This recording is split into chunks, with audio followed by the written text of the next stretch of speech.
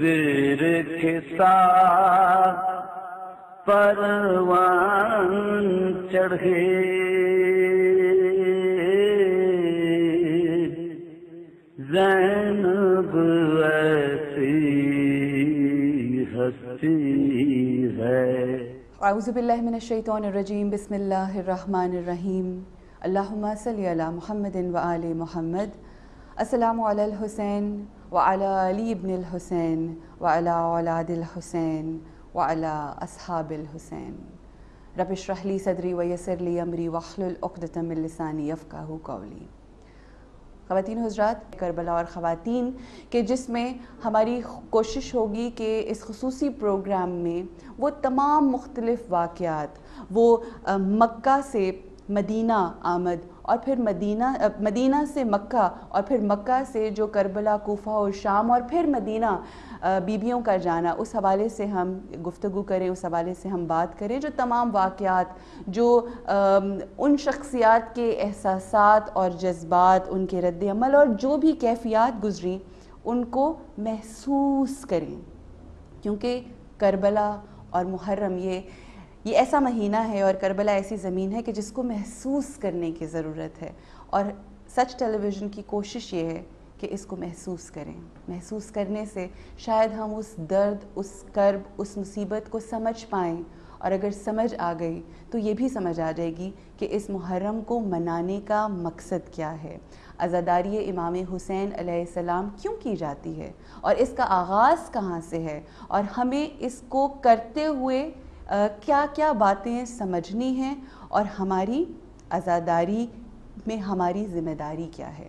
اسی حوالے سے اپنے آج کے اس پروگرام میں ہم ڈسکشن کریں گے، مگر اس سے پہلے میں چاہوں گی ہمارے جو مہمانان گرامی ہیں، ان سے آپ کا تعارف، میں ان کی مشکور کہ یہاں پر تشریف لائے۔ میرے لیے بہت محترم ہمارے ساتھ موجود ہیں خانم سکینہ مہدوی صاحبہ۔ بہت شکریہ آپ کی آمد کا۔ آپ شفقت کرتی ہیں، شفقت سے ہمارے پاس آتی ہیں اور جو علم کے موتی دے کر جاتی ہیں، پھر وہ سالہ سال ہمارے ساتھ رہتے ہیں۔ ہمارے ساتھ ہماری دوسری خواہر شمائلہ زینب صاحبہ بہت اچھا بولتی ہیں، خوب بولتی ہیں اور ہمارے ساتھ موجود ہیں۔ عزاداری کے حوالے سے گفتگو ہوگی۔ بہت شکریہ خواہر آپ کی آمد کا۔ خانم سب سے پہلا جو اہم سوال ہے کہ عزاداری تعزیت عزاداری اور یہ جو سلسلہ ہے سارا، اس میں اس کا آغاز کہاں سے ہے؟ اور سب سے اہم چیز، کیونکہ سب سے موسٹ آتھینٹک بات جب آپ جیسے لوگ کرتے ہیں، تو ہم یہ جاننا چاہتے ہیں کہ قرآن حکیم کی روشنی میں ہمیں بتائیے کہ یہ جو سلسلہ ہے، یہ جو ایک ایک ہم کرتے ہیں زداری مناتے ہیں، اس کا آغاز کہاں سے ہوتا ہے اور قرآن اس بارے میں کیا فرماتا ہے؟ بسم اللہ الرحمن الرحیم۔ السلام علی الحسین وعلی علی ابن الحسین وعلی اولاد الحسین وعلی اصحاب الحسین۔ سب سے پہلے اس چینل کا اور اپنی پوری ٹیم کا شکریہ ادا کرتی ہوں جنہوں نے ان ایام میں ہمیں اس در سے جوڑ دیا، اس در سے ملا دیا جو دنیا و آخرت میں نجات کا در ہے۔ جب محرم کا چاند نظر آتا ہے، ہر آنکھ کا ہوتی ہے، ہر دل میں غم کا طوفان ہوتا ہے۔ اور روایات کے مطابق جب محرم کا چاند نظر آئے، پروردگار عالم مولا حسین کا خونی کرتا، زخمی کرتا عرش سے فرش کی طرف لٹکا دیتا ہے اور اس تازہ خون کی خوشبو پوری کائنات میں پھیل جاتی ہے اور جو جو اس خوشبو کو محسوس کرتا ہے لاشعوری میں اس کی آنکھیں نم ہو جاتی ہیں۔ محسوس کرنا کتنا ضروری ہے؟ محسوس وہی لوگ کر سکتے ہیں جس کے دل پاک ہوں۔ وہی لوگ محسوس کر سکتے ہیں جن کے دلوں میں عشق مصطفیٰ عشق مرتضیٰ ہو۔ عشق کا ذرہ بھی ہونا وہ محسوس کر سکتا ہے۔ کیونکہ حسین ابن علی علیہ السلام قید و بند سے آزاد ہیں۔ آج بہت سارے لوگ ہیں جو توحید کو نہیں مانتے۔ بہت سارے ادیان ایسے ہیں جو رسالت کو نہیں مانتے۔ جو توحید کو نہیں مانتے ہم کافر کہتے ہیں۔ جو رسالت کو نہیں مانتے تب بھی ہم کافر۔ لیکن کافر ہوں ہندو ہوں عیسائی ہوں وہ حسین کو ضرور مانتے۔ ہیں۔ اس قوم کو کے لمبردار کو مانتے اس قوم کو بیدار تو ہو لینے دو۔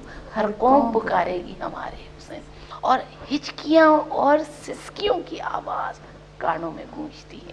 یہ مہینہ یہ ازاداری جو ہمارا موضوع ہے، ازاداری کا، یہ بیٹھنا فرش پہ ذکر حسین ابن علی سننا، یہ آپ کی روح کی غذا ہے۔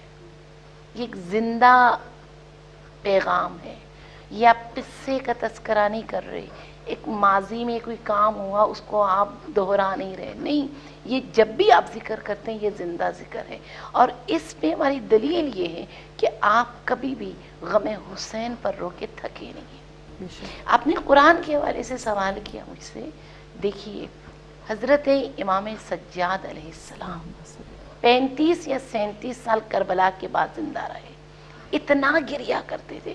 پانی دیکھتے گریا، جانور ذبح ہوتے ہوئے دیکھتے گریا۔ کسی ماں کے گود میں بچہ دیکھتے گریا۔ کسی غلام یا صحابی نے سوال کیا، مولا، بس کر دیں۔ اتنے سال گزر گئے۔ جب میں دیکھتا ہوں، گریا فرماتے ہیں۔ دیکھیں، امام معصوم علیہ السلام نے جواب قرآن سے دیا اور پوری کائنات کو تا دم قیامت ہمیں متوجہ کیا قرآن کی طرف۔ کیا فرمایا؟ دیکھو، جناب یعقوب علیہ السلام، جن کا ایک بیٹا نظروں سے اوجل ہوا، اتنا روئے کہ آنکھوں کی بینائی چلی گئی۔ میرے سامنے میرے اٹھارہ بھائی اٹھارہ جوان۔ اور اس طرح سے شہید ہوئے کہ بھوکے اور پیاسے۔ یہاں پہ بات قرآن کی ہے نا، میں یہ سوال کروں آپ سے۔ مولا امام سجاد علیہ السلام نے غم حسین پہ رونے کو، جناب یعقوب کے رونے سے کیوں تشبیح دی؟ وجہ۔ جناب امام سجاد علیہ السلام، جب امام حسین پہ گریا کو، یعقوب نبی کے گریا سے جب تشبیح دیتے ہیں، وجہ۔ سب سے پہلا سوال، کیا نبی کا رونا محبت اور اپنے بیٹے سے محبت تھی؟ کیا اس رونے پہ اللہ راضی تھے یا نہیں؟ اگر یعقوب کے رونے پہ جناب یعقوب کے رونے پہ اللہ راضی نہ ہوتے، تب بھی وہ روتے۔ کیا ذکر یوسف بار بار کرنا؟ بیس سال تک روئے ذکر یوسف، ہر مقام پہ ذکر یوسف کیا۔ اگر یہ ذکر یوسف کرنا اللہ کی بارگاہ میں منظور نہ ہوتا، تو کیا یعقوب نبی کرتے؟ جس نبی کو اللہ نے نبوت بخشی ہے، جس نبی کے نسل سے نبوت چلی ہے بالکل صحیح. ایسے ہی نا؟ بڑی بڑی خوبصورتی سے آپ نے بیان کیا. میں اپنی خواہر کی طرف آنا چاہوں گی کہ ہم نے قرآن کی روشنی میں جو خانم نے آیت بیان کی ویلڈ اور بہت اتھینٹک بات. اگر ہم یہ سلسلہ شروع کریں حضرت آدم سے، حضرت آدم نے بھی گریا کیا۔ اور میں چاہوں گی کہ یہ جو عزاداری کا سلسلہ جو روز اول سے شروع ہوا، اس حوالے سے آپ ہمیں کچھ روشنی ڈالیے۔ اور اور پھر ہم آئیں گے محمد مصطفیٰ صلی اللہ علیہ وآلہ وسلم، کیونکہ یہ تمام مثالیں انبیاء کرام کی اور ظاہر ہے سردار انبیاء ان کا تذکرہ بھی ساتھ ساتھ۔ بسم اللہ الرحمن الرحیم۔ یا رب الحسین، بحق الحسین اشف صدر الحسین، بظہور الحجہ۔ سب سے پہلے میں تمام ناظرین کی خدمت میں اور آپ کی خدمت میں سلام عرض کرتی ہوں اور اس کے بعد ماہ محرم الحرام کی مناسبت سے تمام ناظرین کو اور آپ کی خدمت میں تسلیت اور تعزیت عرض کرتی ہوں۔ اور آپ نے بہت ہی خوبصورت سوال کیا ہے، چونکہ آج کے اس دور کی ضرورت بھی ہے کہ لوگ عزاداری پر مختلف قسم کے سوالات بھی اٹھاتے ہیں۔ تو ان کا جواب یہی دیا جا سکتا ہے کہ یہ عزاداری صرف امام حسین علیہ السلام کے شہید ہونے کے بعد سے سٹارٹ نہیں ہوئی۔ ٹھیک۔ ہاں اکثر اوقات یہ آ، کہ سوچا جاتا ہے کہ عزاداری امام حسین بعد از شہادت امام حسین علیہ السلام شروع ہے۔ مگر یہ جاننا بہت ضروری ہے کہ اس کا آغاز ازل سے ہے اور کہاں سے ہے وہ جاننا ضروری ہے فرمائیے۔ سب سے پہلے اگر ہم تو تاریخ کی طرف پلٹتے ہیں، دیکھتے ہیں کہ حضرت آدم علیہ السلام نے جب ترک اولا کیا اور پروردگار کی بارگاہ میں توبہ کی درخواست کی، تو ان کو جو اسما کی تعلیم دی گئی تھی اور ان اسماء کو جب انہوں نے پڑھا جبرائیل نے جب ان کو پڑھایا انہوں نے جب ان اسماء کو پڑھا تو اس وقت کہتے ہیں روایت میں یہ ملتا ہے کہ حضرت آدم علیہ السلام کی جب امام حسین علیہ السلام کا نام آتا ہے تو آنکھ نم ہو جاتی ہے۔ اور وہ پوچھتے ہیں کہ بار الہ آخر میں نے باقی چار نام ایسے پڑھے ہیں ان میں مجھے ایسا کوئی فیل نہیں ہوا۔ لیکن کیا وجہ ہے کہ اس ایک نام سے میری آنکھ نم ہو گئی ہے؟ آخر وجہ کیا ہے؟ تو پھر پروردگار نے بتایا کہ کس وجہ سے کہ ایک ایسا وقت آئے گا کہ آپ ہی کی اولاد میں سے جو ہیں امام حسین علیہ السلام ہوں گے اور جن کو ان کے جو ہے ان کے نانا کی امت بھوکا پیاسا، تین دن کا بھوکا پیاسا اور بے جرم اور بے خطا شہید کریں گی۔ اسی طرح حضرت آدم علیہ السلام سے جب ہم آتے ہیں تو حضرت آدم علیہ السلام کے بعد حضرت نو علیہ السلام کا دور جب آتا ہے تو حضرت نو علیہ السلام کو جب دیکھتے ہیں کہ اللہ تعالیٰ نے جب ان کو حکم دیا کہ آپ کشتی بناؤ اور اس کشتی میں جو سوار ہو جائے گا وہ نجات پا جائے گا، اب وہ کشتی جب چل رہی ہے، اس طوفان یعنی وہ جو سیلاب ہے، اس کش، اس میں جب وہ کشتی چل رہی ہوتی ہے تو کہتے ہیں کہ جب اس سرزمین کربلا پر وہ کشتی پہنچتی ہے تو ایک دم سے حضرت نو علیہ السلام کا دل مغموم ہو جاتا مغمون ہو جاتا ہے، پریشان اور مضطرب ہو جاتا ہے۔ تو وہ پروردگار سے پوچھتے ہیں کہ پروردگار، اس زمین کے ہر جگہ سے جہاں کہیں سے گزرا ہوں، لیکن ایسا کوئی فیل نہیں ہوا۔ آخر وجہ کیا ہے کہ جب میں اس سرزمین پر یا اس زمین کے اس حصے پر پہنچا ہوں تو دل جو ہے مسترب ہو گیا ہے، دل پریشان ہو گیا، آخر وجہ کیا ہے؟ تو پروردگار نے وہی جبرائیل امین کے ذریعے وہی نازل کی اور یہ بتایا کہ یہ وہ سرزمین ہے کہ جہاں پر امام حسین علیہ السلام کو شہید کیا جائے گا۔ اسی طرح ہم باقی انبیاء کا بھی اگر دیکھتے ہیں تو حضرت ابراہیم حضرت نو علیہ السلام کے بعد حضرت عیسیٰ علیہ السلام کا جب اپنے حواریوں کے ساتھ کربلا کی سرزمین سے گزر ہوتا ہے تو وہ بھی وہاں پر پریشان ہوتے ہیں۔ یعنی یہ سرزمین ہی ایسی تھی کوئی ایسا نبی نہیں تھا جی، جو جی، جتنے بھی۔ انبیاء اس جی۔ سرزمین سے گزرے اور اس جگہ پہ مقیم ہوئے تو ہر کسی ہر کسی- ہر کسی نے وہ اس کرب کو مشکلات مشکلات کو اور۔ اس پریشانی کو حص کیا۔ یہاں پر ایک پیمبر صلی اللہ علیہ وآلہ وسلم کی ایک حدیث سنانا چاہوں گی کہ پیمبر صلی اللہ علیہ وآلہ وسلم کا بڑا خوبصورت فرمان ہے۔ کیا فرماتے ہیں؟ انا لقتل الحسین حرارتا فی قلوب المؤمنین لا تبرد ابدا کہ یعنی قتل حسین سے مومنین کے دلوں میں ایک ایسی حرارت اٹھی ہے کہ جو حرارت کبھی بھی وہ سرد نہیں ہوگی خاموش نہیں ہوگی اور یہی یعنی یہ حرارت ابھی سے نہیں ہے یہ حرارت سٹارٹ سے چلی آ رہی ہے روز ہاں آخر جی۔ تک روز آخر تک یہ ہے معجزہ اس نام حسین علیہ۔ السلام کا میں خانم یہ جب سوچتی ہوں اور جب ہم کبھی اپنی ان ناپاک زبانوں سے یہ پاک نام لیتے ہیں تو ایک عجیب سی کیفیت ہوتی ہے۔ یہ نام ایسا ہے کہ آپ ہر نام لیتے ہیں مگر جب حسین کہتے ہیں تو کہتے ہیں ہائے حسین۔ یہ جو یہ جو ایک کرب ہے اور یہ جو ایک آ، آ، ایک عجیب سی کیفیت ہے یہ بیان نہیں ہو پاتی۔ میں آپ کی آپ کی طرف آؤں گی اور سردار الانبیاء محمد مصطفیٰ صلی اللہ علیہ وآلہ وسلم کے دور میں اور جو انہوں نے عزاداری کی۔ کیونکہ ہم سب عاشق رسول صلی اللہ علیہ وآلہ وسلم، ہم سب جانتے ہیں کہ حسین وہ ہستی ہے کہ جن کے بارے میں رسول اللہ صلی اللہ علیہ وآلہ وسلم فرماتے تھے کہ حسین منی و انا من الحسین، کہ میں حسین سے ہوں اور حسین مجھ سے ہیں۔ تو انہوں نے کس، ان کا طرز عزاداری کیا تھا؟ یہ جاننا تمام لوگوں کے لیے بہت ضروری ہے، کیا فرمائیں گی؟ جی عروج آپ بھی اور میری بہن بھی، بہت خوبصورت انہوں نے بیان کیا آج اول محرم کے حوالے سے۔ ہر انبیاء کا گزر کربلا سے ہوا۔ جناب ابراہیم آدم سے لے کر جناب خاتم تک۔ جب ہمارے آخری نبی صلی اللہ علیہ کربلا سے گزرے کربلا کی مٹی لی ایک شیشی میں رکھا۔ یہ وہی مٹی ہے جسے جناب ام سلمہ کے حوالے کیا۔ مولا علی علیہ السلام مولا حسن علیہ السلام مولا حسین کا بھی گزر جنگ صفین کے دوران اسی سرزمین سے ہوا۔ جب جناب ابراہیم یہاں سے گزر رہے تھے گر گئے۔ اور سوچا پروردگارا میرے سواری نے مجھے گرا دیا۔ کیا مجھ سے کوئی غلطی کوئی خطا سرزد ہوئی۔ آواز قدرت آئی، ابراہیم، یہ جگہ ایسی ہے، یہ کرب و بلا ہے۔ جب ذکر مصیبت حسین علیہ السلام انبیاء کے سامنے پیش کیا جاتا، انبیاء گریا فرماتے تھے۔ یہ وہ ایک ایسا اللہ کا انتظام ہے، اللہ کے نظام قدرت، اللہ نے کائنات کو بتایا اللہ کی کائنات کو بنانے کا یہ ایک ایجنڈا ہے۔ تخلیق کائنات سے پہلے کربلا لکھی گئی تھی۔ یہاں پہ میں رک کے ایک سوال کرنا چاہوں گی، وہ یہ کہ انبیاء کی زندگیوں میں بہت ساری مشکلات آئیں امام حسین علیہ السلام، مگر جب یہ واقعہ ہو گزرا اور اس سرزمین نے امام حسین علیہ السلام کا خون مبارک جو ہے وہ جب اپنے اندر سمو لیا، اس کے بعد آج اور آج سے چودہ سو سال پہلے کے جتنے بھی مولا کے چاہنے والے لبے کیا حسین کہتے ہوئے جاتے ہیں، تو یہ کیا معجزہ ہے؟ یہ کیا ون ایٹی ڈگری ہے کہ ان زائرین کے لیے اس قدر آسانیاں اس قدر آسائشیں لوگوں کی محبتیں یہ جو معجزہ ہے یہ میں چاہوں گی ٹاپک ہمارا عزاداری ہے مگر یہ اس معجزے کو بیان کرتے ہوئے ہم آگے بڑھیں گے۔ جی بالکل احب اللہ من احب الحسین۔ جو امام حسین سے محبت کرے اللہ اس سے محبت کرتا ہے۔ حدیث سے نبی صلوات اللہ علیہ فرماتے ہیں کہ اگر کوئی شخص حسین کی زیارت کرے ایک مرتبہ زیارت کرے ایک حج کا ثواب۔ اصحاب حیران ہوتے ہیں۔ یا رسول اللہ ایک زیارت ایک حج کا ثواب۔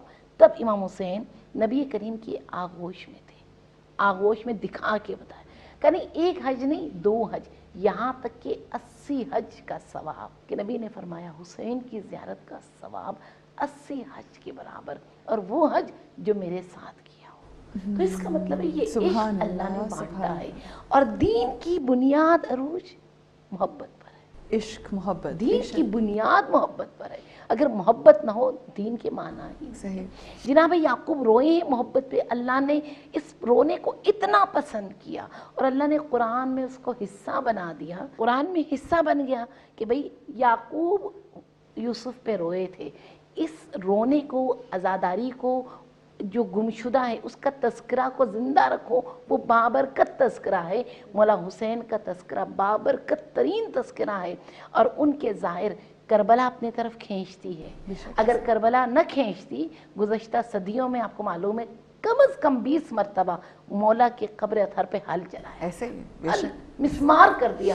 یہاں تک ایک دور ایسا آیا کہ مولا کے قبر کے ارد گرد گڑا کھودا گیا اور نہر فرات کا رخ مولا کے روزے کی طرف کر دیا۔ کہ پانی میں یہ روزہ بہ جائے۔ کیوں؟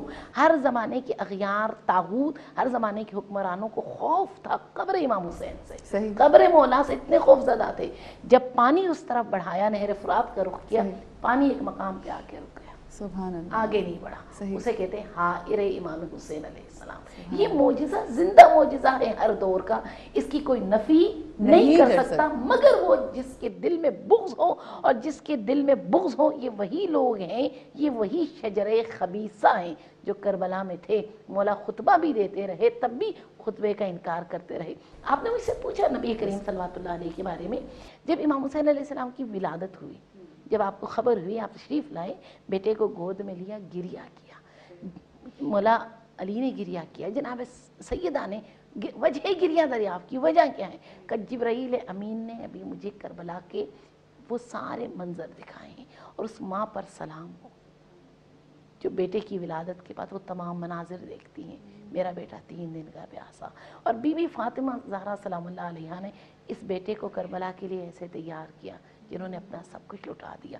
سب سے پہلے ازادار نبی کریم ولادت کے بعد نبی کریم ہے اور ازاداری پہ جو ہوتا ہے کہ رونا، کرنا۔ امام حسین علیہ السلام کے کی ولادت مبارک کے بعد سب سے پہلے عزادار رسول اللہ صلی اللہ علیہ وآلہ وسلم ہے اگر ہم اس بات کی اہمیت کو سمجھ جائیں تو ہمیں سمجھ آ جائے گی کہ یہ آخر آخر عزاداری ہے کیا۔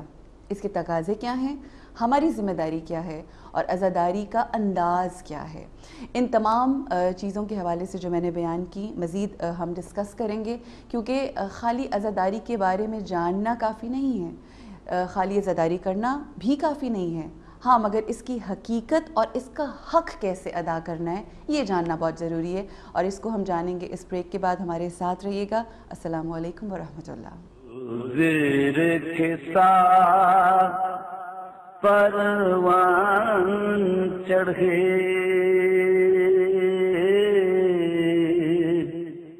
زینب ایسی ہستی ہے۔ زیر کھسا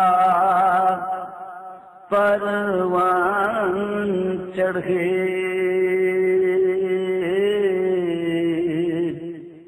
زینب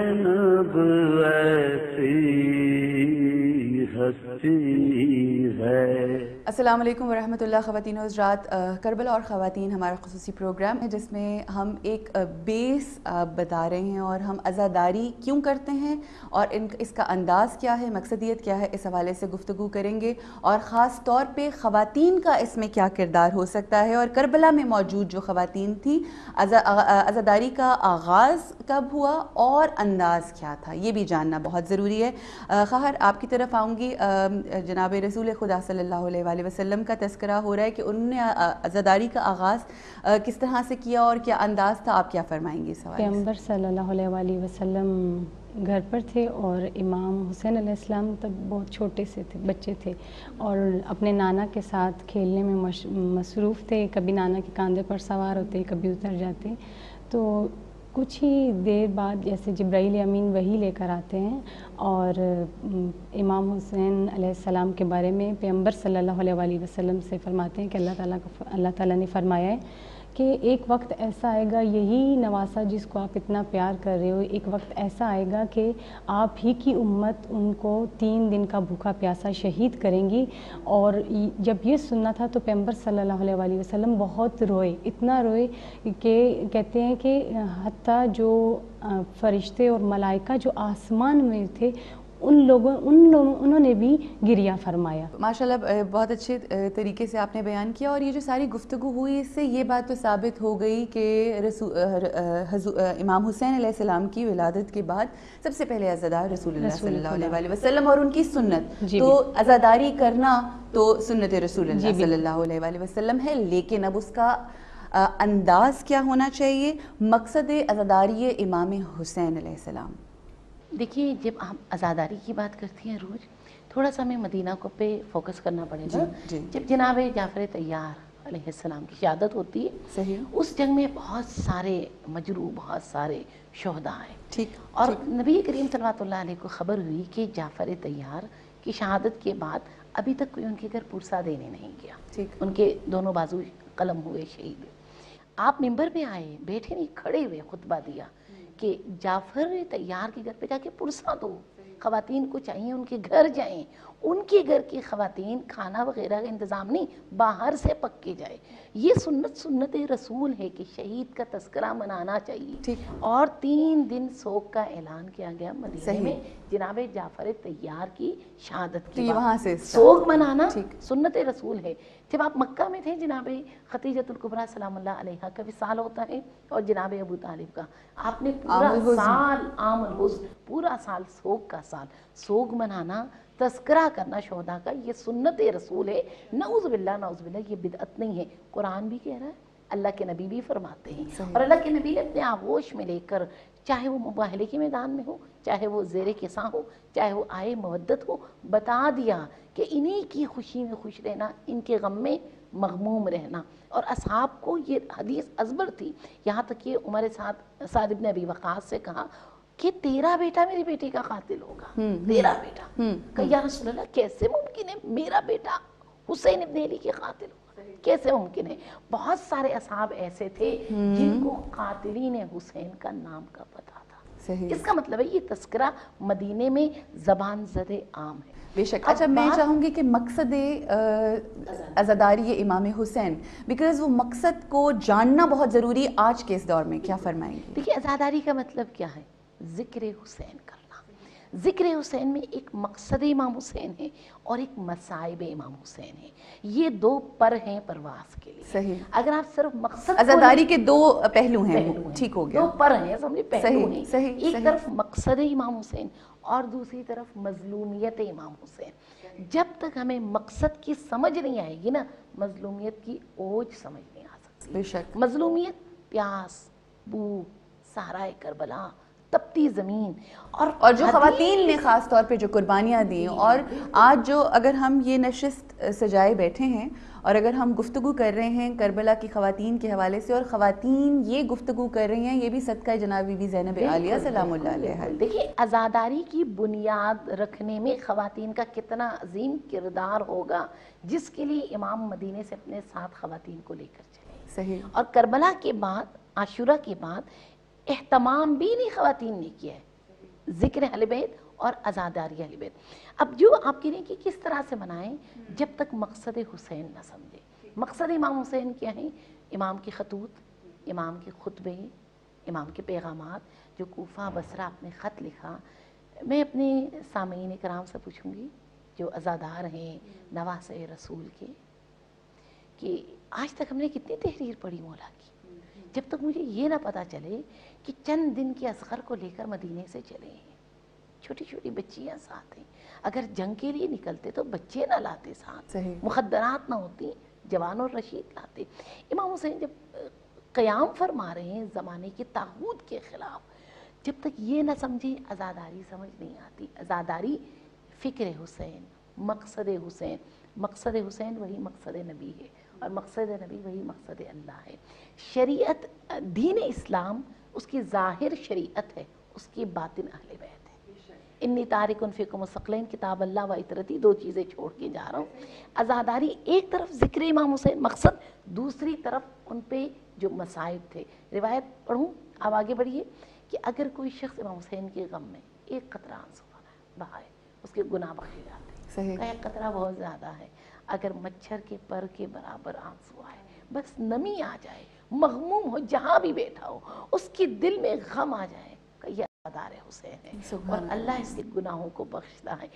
مجھے لگتا ہے امام حسین یا ایتو النفس المطمئنہ ارجعی الى ربی کی راضیت مرضیہ یہ پوری کائنات میں خیرات با مقصد ازاداری کرنے والا جو ازادار ہے اس کے کیا فضائل ہیں؟ یہ ہم، اس حوالے سے ہم آتے ہیں۔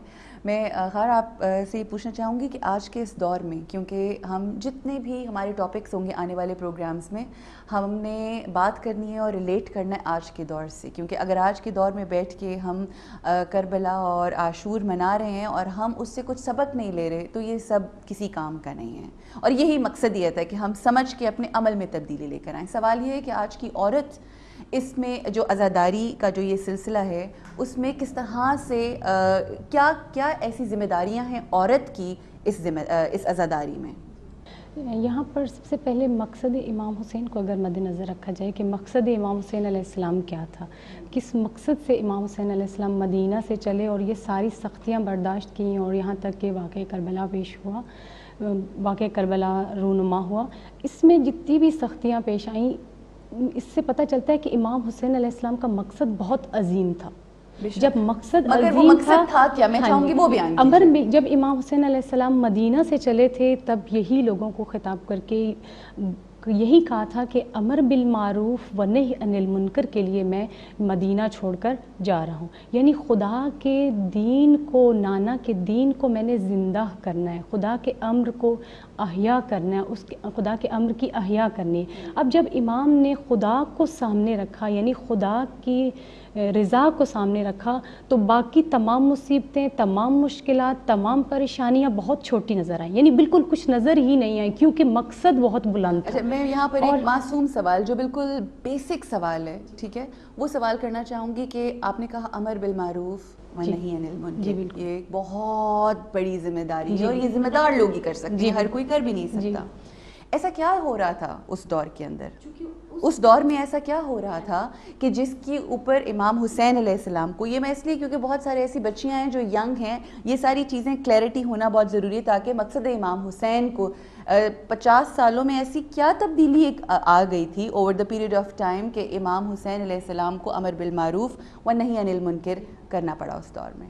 اس دور میں آہستہ آہستہ دین میں بدعتیں وارد کرنا شروع کر دی تھی اور ایسی بدعتیں کہ جو ناقابل برداشت تھیں۔ یہاں تک کہ یہ بھی کہا جاتا ہے کہ بہن بھائی کا نکاح جائز ہے جو کہ اسلام نے کیا۔ جی بالکل۔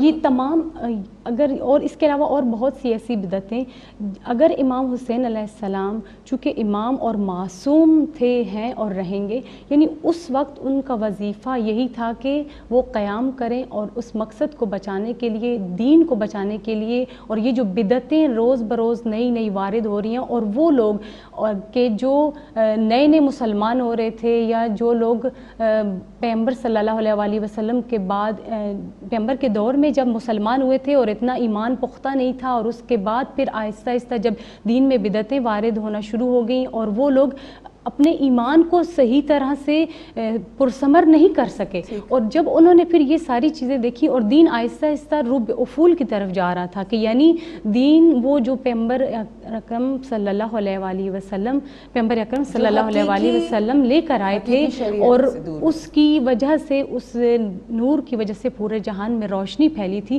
وہ دین کی روشنی دھیرے دھیرے مدم ہونا شروع ہو گئی تھی۔ تو امام نے اس وقت اپنا وظیفہ یہ اس سمجھا۔ امام جی، بالکل۔ وقت جو ہے ہاں جی امام وقت نے اس وقت یہ اپنے وظیفے کو بے نحو احسن انجام دیا اور خدا کی کی رضا کو مد نظر رکھتے ہوئے مدینہ سے مکہ اور مکہ سے پھر کربلا کی طرف آئے۔ آپ کا سوال یہ تھا کہ خواتین نے کیا کیا؟ اب دیکھیے کہ امام حسین علیہ السلام جب مدینہ سے چلے تھے تو اپنے ساتھ جب اپنے کنبے کو لے کر آئے تھے اپنے گھر والوں کو لے کر آئے تھے بہت سے لوگ ایسے تھے کہ جنہوں نے وہاں پر امام سے کچھ تو لوگوں نے عطوفت اور مہربانی سے امام سے کہا تھا کہ یا امام آپ مدینہ چھوڑ کر نہ جائیں۔ کچھ لوگ ایسے تھے کہ اگر آپ جانا بھی چاہ رہے ہیں تو اپنے بچوں کو ساتھ نہ لے کر جائیں۔ لیکن امام کا وہاں سے لے کر آنا بچوں کو خواتین کو مقصد یہ تھا کہ یہ جو ہدف ہے یہ جو مقصد ہے یہ پوری دنیا تک پھیلے اور پایان تک پہنچے یعنی آخر تک پہنچے اور ایک ثمر تک پہنچے۔ اور اگر حضرت زینب سلام اللہ علیہ امام حسین علیہ السلام کے ساتھ نہ آتی اور امام حسین علیہ السلام کا جو مقصد تھا کربلا تک ختم ہو جاتا شاعر فارسی میں بڑی خوبصورتی سے کہتا ہے کہ کربلا در کربلا می ماند اگر زینب نہ بود بے شک. کہ اگر حضرت زینب سلام اللہ علیہ نہ ہوتی تو یہ کربلا جو ہے کربلا کے اندر ہی ختم ہو جاتی. امام کا۔ مقصد وہیں ختم ہو جاتا. اسی بات کو آگے بڑھاتے ہوئے خانم میں آپ سے پوچھنا چاہوں گی کربلا میں موجود جو خواتین تھیں ان کی عزاداری کا آغاز و انداز کیا تھا؟ بیکاز اس کو سمجھنا جاننا ضروری اس لیے تاکہ آج کی عورت اس سے سیکھ سکے۔ بہت خوبصورت آپ نے سوال کیا آخر ہو کیا رہا تھا؟ اسلامی ممالک میں کیا ہو رہا تھا؟ اور وہ جو کیا ہو رہا تھا میں اصحاب وہ جاننا بہت ضروری ہے۔ میں اصحاب کی زبان سے نہیں سنوں گی میں کسی راوی کی زبان سے نہیں سنوں گی۔ کیوں؟ جب اس زمانے میں نواس رسول موجود ہیں جن کی زبان زبان کی طہارت کی گواہی اللہ نے دی جن کی صداقت کی گواہی مباہلہ نے دی جن کی مودت اجر رسالت کی گواہی قرآن نے دی جب تک۔ وہ زبان مدینہ یا مکہ میں موجود ہے میں کسی اور کی زبان کسی کی زبان کی ضرورت ہی نہیں ہے۔ کیوں؟ الحسن والحسین سیدہ شباب اہل الجنہ۔ جنت کے سردار ہیں۔ جو جنت کے سردار ہوں گے ڈیفینیٹلی وہ دنیا کے بھی سردار ہیں۔ میرے مولا فرماتے ہیں کہ میں ایسے شخص کے ساتھ بیعت نہیں کروں گا جو شارب الخمر ہے۔ یزید کی گناہوں کو حسین ابن علی نے گنا ہے۔ صحیح۔ کہ شراب پیتا ہے۔ اس نے بیٹی بے اور بہنوں کی حرمتیں پامال کر دی ہیں۔ یہ وہ شخص ہے جو ناجائز کاموں کو جائز ناجائز کرا کاموں کو جائز۔ اور یہ وہ شخص ہے جو نجس جانوروں کے ساتھ کھیلتا ہے۔ نجس جانوروں کو ممبروں پہ نچواتا ہے نعوذ باللہ۔ جب یہ تمام بدعتیں تحریفات دین میں آ رہی ہیں اور تمام بلاد اسلامی کے مسلمان خاموش ہیں۔ نظر سب کو آ رہا ہے۔ وہ جب بارہ ہزار خطوط کوفہ سے آئے تھے اس خطوط کا مفہوم کیا ہے؟ مولا ہمارے ہاں ظلم ہو رہا ہے۔ مولا یتیم کا حق چھینا جا رہا ہے۔ جب یہ ساری باتیں ہیں تو اس کا مطلب ہے امام کا قیام جو ہے زمانے کے تاغوت کے خلاف۔ اور اب تک قیامت تک ہر دور اور یہ ذمہ داری ہی صرف امام کی تھی۔ یہ ذمہ داری۔ نبھا کر بتایا میرے بعد بھی لا یبایو مثلی مثلا۔ مجھ جیسا کبھی بھی یزید جیسے کہ بیعت نہیں کرے گا۔ مجھ جیسا اس جیسے کی بیعت نہیں کرے گا۔ یہ بالکل وہی بات ہے جس طرح سے آج بی بی تک چلے گا۔ زینب عالیہ سلام اللہ علیہ نے جب اپنا تعارف کرایا اور دوسری پارٹی کا تعارف کرایا۔ اچھا میں کمنگ ٹورڈز جو عزاداری یہ بہت اہم پوائنٹ تھا جس کو آپ نے الیبریٹ کیا مگر کربلا میں موجود خواتین کی عزاداری کا آغاز و انداز۔ یہ پلیز میں چاہوں گی اس پہ تھوڑی جناب۔ زینب کبرا سلام اللہ علیہ کو فاتح شام کہتے ہیں۔ کیوں؟ جب یزید کے دربار میں بی بی نے خطبہ دیا اور ایک تہلکہ مچ گیا جہاں شام کے روم کے سفیر نے کہا۔ یہ نواز رسول کے ساتھ ہو رہا ہے۔ اس نے وہیں کلمہ پڑھا وہیں اس کا سر تن سے جدا ہوا۔ ایک بہت بڑی تحریک ہے۔ جب یزید نے اپنے حکومت کے ستونوں کو لرستے ہوئے دیکھا کہا بظاہر معافی اس انداز میں کہ بیویوں سے کہا گیا جی میں آپ کو مدینہ لوٹا دیتا ہوں اور جو آپ کا لوٹا ہوا مال ہے ہم آپ کو واپس کرتے ہیں۔ بیوی نے فرمایا، نہیں، پہلے جگہ دیں جہاں پر میں بیٹھ کر اپنے بھائی کو روں اور تو حکم دے گا شام کی خواتین کو، آ کر مجھے پرسا دیں۔ یہ ہے فاتح شام۔ وہ قید خانہ، جو بہت چھوٹا قید خانہ تھا۔ بی بی وہاں بظاہر قیدن ہے لیکن شام کے جب لوگ آتے ہیں بی بی پورے کربلا کا تذکرہ کرتی ہیں اور لوگ داڑھی مار کر روتے ہیں۔ یزید نے دیکھا اس سے زیادہ میں ان مخدرات عصمت کو یہاں نہیں روک سکتا۔ پورا شام گریا کنا ہے دیکھیے ازاداری انہوں نے خود کی۔ مانگا ایک جابر وقت سے قاتل حسین سے جب کہا واپس بھیجنا ہے واپس تب جائیں گے جب ہم ازاداری کی بنیاد رکھیں گے۔ یہی وجہ یہ بنیاد جو ہے بی بی زینب عالیہ سلام اللہ یہی علیہ وجہ ہے آج تک شام میں بلاد اسلامی میں لا الہ الا اللہ محمد رسول اللہ کی آواز آتی ہے۔ یا شام سے کربلا کربلا سے مدینہ تک۔ مدینے میں جب یہ پہنچتی ہیں جناب ام کلثوم کے خطبے ہیں، یا مدینہ جدنا لا تقبلینا۔ یہ ہمارے جد کے شہر ہمیں قبول نہ کرنا۔ ہم حسین کو لے کر گئے تھے لٹ کر آئے ہیں۔ یہ ازاداری ہے۔ وہ لوگ جو ہجوم، جوش تر جوش استقبال کے لیے آ رہے ہیں گریا کنا آ رہے ہیں۔ اور مولا سجاد کا خطبہ جناب زینب کا تہلکہ مچ جاتا ہے۔ شام میں ایک ایسی فضا ہے، ہر گھر میں غم ہے۔ ہر غم، گھر میں صفے عذاب بچھی ہے۔ بہت خوبصورتی سے اس حقیقت کو بیان کیا کہ جس کو بیان کرنے کی ضرورت ہے۔ ازاداری جس طرح سے آپ نے کہا کہ کس کیا کیسا آغاز ہوا۔ آج کے دور میں اگر ہم ازاداری کو دیکھیں تو یہ مطلب میجرلی ہم ہمیں نظر آتا ہے کہ ازاداری میں ہم گریا کرتے ہیں پرسا دیتے ہیں آ, سڑکوں پہ نکل کے پروٹیسٹ کرتے ہیں۔ اور یہ ایک احتجاج بھی ہے جو ازاداری ہے یہ اس کو اگر ہم یہ کہیں تو یہ احتجاج کا طریقہ کا طریقہ ہے کہ دنیا کو بتائیں کہ کیا ہوا تھا۔ کربلا کے میدان میں امام حسین علیہ السلام کے ساتھ۔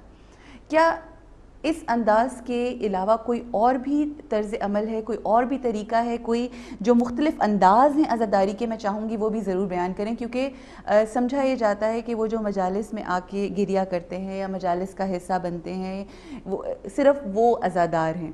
کوئی ایک ایسا شخص جو گھر میں بیٹھ کے امام حسین کے لیے غمگین ہے چاہے وہ ٹی وی پہ دیکھ کے یہ پروگرام دیکھ کے اس کی آنکھ نم ہو جاتی ہے اور وہ محسوس کرتا ہے اس کرب اور اس مصیبت کو تو کیا وہ عزادار کہلائے گا اور مختلف کیا انداز ہیں دیکھیے اداداری کے انداز ہر ملک میں مختلف ہے ہر مکتب فکر میں مختلف ہے ہمارے اہل تشیع کے انداز ہو رہے ہیں ہمارے اہل سنت کے انداز ہو رہے ہیں جس طرح مختلف ہاں۔ بالکل۔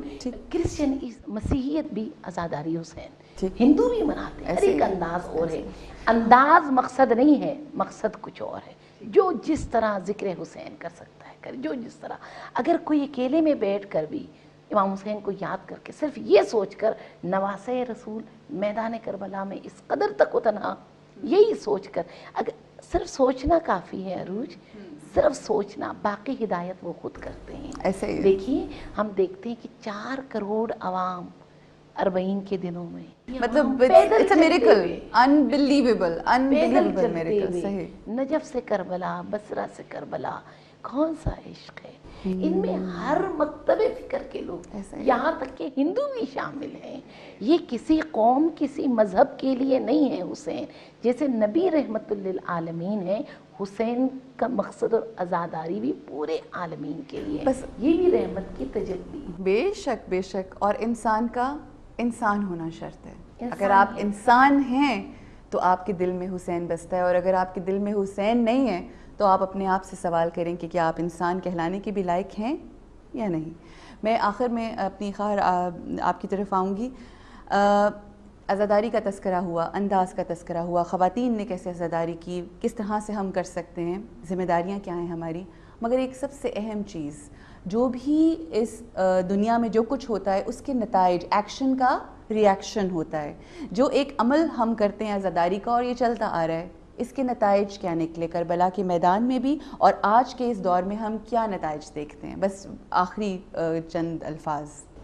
دیکھیں، جیسے بھی ہمیں روایات میں ملتا ہے کہ جو کوئی بھی شخص امام حسین علیہ السلام کے غم میں آنسو بہاتا ہے، جیسے ابھی خانم نے بڑے خوبصورت انداز میں بیان کیا، حتیٰ کہ اس کی آنکھ میں آنسو کا ایک قطرہ بھی آتا ہے یا اس کی آنکھ میں جو ایک مچھر کے پر کے برابر بھی نمی آتی ہے تو اس کے گناہ بخشے جاتے ہیں۔ تو یہاں سے یعنی یہ انسان اگر امام حسین علیہ السلام کو کیوں پیغمبر صلی اللہ علیہ وآلہ وسلم نے کہا کہ ان الحسین مصباح الہدا و سفینت النجا کہ یعنی امام حسین جو ہے وہ ہدایت کی ہدایت کا چراغ اور۔ نجات کی کشتی ہیں۔ نجات کی کشتی ہیں یعنی اگر کوئی بھی امام سے جڑ جاتا ہے امام کے مقصد کو سمجھ لیتا ہے تو اس کی زندگی دنیا میں بھی سنور سکتی ہے اور آخرت میں بھی وہ پل سرات سے بے راحتی عبور کر سکتا ہے۔ کیوں؟ کیونکہ امام حسین علیہ السلام کا وجود ایسا ہے کہ جس میں فارسی میں شاعر نے بڑا خوبصورت کہا ہے کہ ان حسین کھیست کہ ہمیں عالم دیوانہ یہ اوست این چشمیس کے جانہا پروانہ یہ اوست۔ یعنی امام حسین کیا ہیں کہ تمام کا تمام جتنے بھی عالم ہیں وہ سب امام حسین علیہ السلام کے دیوانے ہیں اور یہ ایک ایسی شمع ہے کہ جس کے گرد جو پروانے ہیں وہ تمام انسانوں کی جانیں ہیں وہ انسان کے جن کے اندر انسانیت بستی ہے اور۔ کربلا سے ہمیں یہی جو درس ملتا ہے کہ حریت اور آزادگی کا درس ملتا ہے۔ اور جیسے کہ ایک بہت بڑے شخص نیلسن منڈیلا نے کہا کہ میں تقریباً وہ ٹوئنٹی سیون ایئر زندان میں تھا۔ اس نے کہا کہ میں آخر تنگ آ گیا اپنی سے میں نے کہا کہ میں خود کو نا سرنڈر کر لیتا ہوں۔ لیکن ایک دم سے مجھے امام حسین علیہ السلام کا خیال آیا کہ انہوں نے ہمیں جو درس دیا ہے حریت اور آزادگی کا درس دیا اور استقامت اور صبر کا درس دیا ہے۔ اور اس صبر اور استقامت کی خاطر میں آج کامیاب ہوا۔ بے شک ایسے یہ میں ٹورڈز دی اینڈ خانم چاہوں گی کہ نتائج اور آخر میں خواتین کے لیے کیا پیغام ہے عزاداری کے حوالے سے اور ذمہ داری کے حوالے سے۔ دیکھیے یہ جو ہم عزاداری کرتے ہیں جو پوری دنیا میں ذکر حسین ہوتا ہے اس کا جو آپ نے کہا فائدہ اس ایکشن کا ریئیکشن کیا ہے؟ حق اور باطل کی پہچان ہوگی جبکہ امام حسین علیہ السلام کے قیام سے پہلے حق اور باطل مشتبہ ہو چکے آج جہاں بھی حق جس نام سے بھی اٹھ جائے نا آواز اٹھائے مظلوم آواز اٹھائے اس کے پرچم پہ حسین کا نام۔ میں ایک امام کی سینگ مجھے یاد آ رہی ہے، میری مجھے صحیح کیجیے گا اگر اس میں کوئی غلطی ہو کہ امام حسین علیہ السلام فرماتے ہیں کہ اگر حق کی پہچان نہ ہو رہی ہو تو یہ دیکھو کہ باطل کے تیر کس طرف جا رہے ہیں۔ یہ یہ حق کی پہچان ہے۔ میں بچیوں کے لیے پیغام، حق اور باطل کی، یہ ہو گیا، یہ تو نتیجہ نکلا۔ اور یہ اس سے بڑا نتیجہ کوئی ہو نہیں سکتا کہ حق اور باطل کی پہچان ہو جائے۔ لیکن آج کی عورت کی کیا ذمہ داری ہے؟ اور کیا آج کی دور کی عورت کو کرنا چاہیے ٹورڈز دی اینڈ کیا پیغام دینا چاہیں گے؟ دیکھیے، خواتین میں جو صلاحیت ہے، اس صلاحیت کو امام حسین علیہ السلام نے میدان کربلا میں ابھارا ہے۔ تمام صلاحیتیں۔ جتنے نوجوان بچے شہید ہوئے مولا حسین بلاتے رہے یا ام کلثوم یا زینب آئیں دیکھیں۔ اس کا مطلب ہے غم کے پہاڑ غم کے طوفان سہنے کا۔ ان میں الحمدللہ خدا نے ہمیں طاقت دی ہے۔ اور ازاداری کی بقا بھی خواتین ہے ایسے ہی خواتین ہیں۔ کیوں؟ جس طرح خاتون کے دل میں پروردگار عالم نے ایک صنف صنف نازک اس سینس میں کہ لطیف دل ہے۔ ٹھیک ٹھیک۔ جب یہ سمجھ جائے نا کہ کربلا کیا تھا، تو نسلیں سور جاتی ہیں۔